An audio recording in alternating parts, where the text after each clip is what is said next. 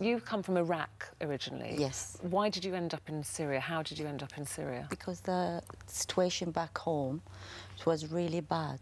A lots of bombing, a lots of uh, uh, terrifying, and my daughter, the oldest one, she couldn't take it, and uh, uh, me as well. I mean, I'll have to let my family be safe. I decided to go to Syria. You had your two daughters and you took your mother. with you Yes, well. and all the yeah, she's she's 82 years. I mean, um, she was really frightening. She couldn't sleep. Even the oldest daughter, she couldn't sleep all night. She keep around the house and thinking, you know, oh, I don't know any minute uh, she's gonna dead or you know, it's really terrified. When you say Ban, you didn't choose uh, Great Britain, England to come.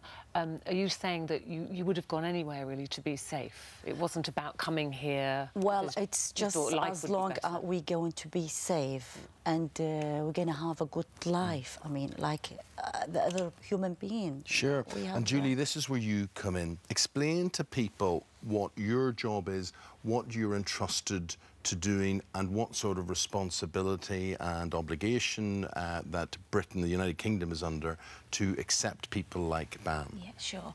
So I'm the National Resettlement Manager for Refugee Action. So I'm responsible for the resettlement programmes across the UK. And there's a number of different resettlement programmes. There's the Gateway Resettlement Programme, and that's what BAN came through on. So the UK government has pledged to resettle 750 refugees a year. But then you get here and there is reaction. How have you been received? Do people welcome you? Do Oh you yes, there is a refugee safe? action uh, team. They've been waiting for uh, each family. They welcome us and took us to the house, which is we stayed for uh, you know f- for one year, and then the next day. They came in um, and took us to the post office to have some photos and for applying for the uh, immigration and all sorts So, of what is your situation now? Do you have a home to live in?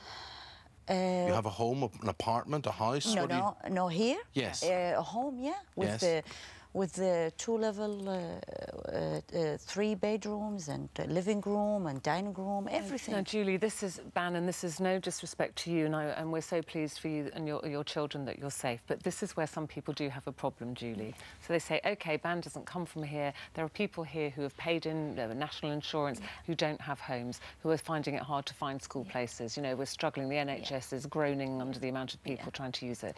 What do you say to those people? You know, it's not that we can support one or the other. We have to support local people here that haven't got, who are homeless and in difficulty. But at the same time, we live in a global world. You know, we are part of this world. We can't pick and choose the bits that, that we want. We are one of the richest. Well, we, We can't. can. We can. Do we? Do we say we trade? We we only do that bit. We'll only go on holiday. You can But- pick and choose, but you mightn't be able to sleep at night. but morally, right? We Yeah. are one of the richest countries in the world. We have a moral obligation to mm-hmm. do this.